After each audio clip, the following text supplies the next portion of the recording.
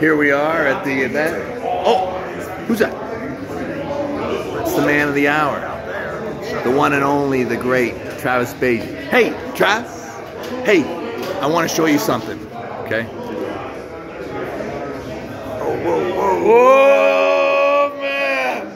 Do you like that? Do you What like? that? Do you like that shirt? I've never seen Yeah. that shirt before. What is that shirt? It's the best shirt. What does that mean? What does any of that mean? Do you remember when you were with Who's Derek? this guy? Do you remember when you were with Derek? First of all, first of all, who's the guy on the thing? Is that Derek? Oh man, you know exactly who that is. Who is that guy?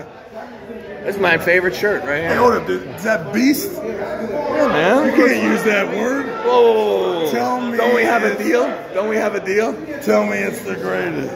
I understand. That's No, no. Specifically, we were not supposed to release